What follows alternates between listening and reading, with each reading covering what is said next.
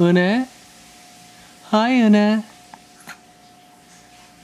Una, do you like your bouncy chair?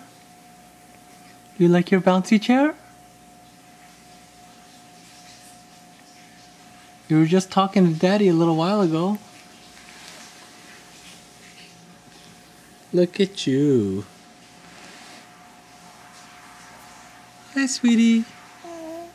Yeah.